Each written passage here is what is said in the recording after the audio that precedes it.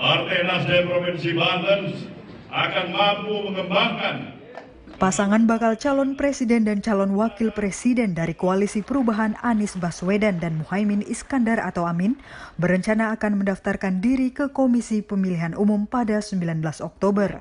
Untuk itu pasangan tersebut telah mempersiapkan kelengkapan berkas administrasi untuk melakukan pendaftaran.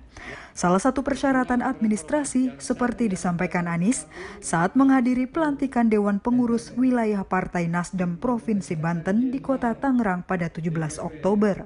Harus membawa surat keterangan sehat, di mana rencananya akan dimintakan ke fasilitas kesehatan di Rumah Sakit Fatmawati, Jakarta.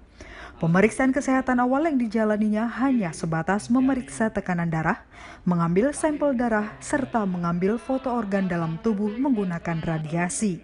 Nantinya, surat keterangan sehat tersebut akan diterbitkan sore hingga 18 Oktober pagi. Seperti juga tadi Pak Ketua Umum juga harus jalan karena banyak hal yang sifatnya administrasi harus selesai uh, penandatangan. Ah, nanti ada following nggak Pak? Pengerahan masa gitu Pak? Kader-kader Pak. besok akan diumumkan detail kegiatan.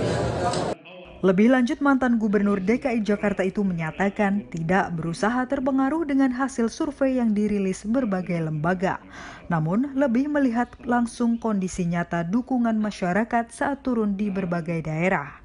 Dari kota Tangerang, Banten, Agung Andika Indrawan, Kantor Berita Antara, mewartakan.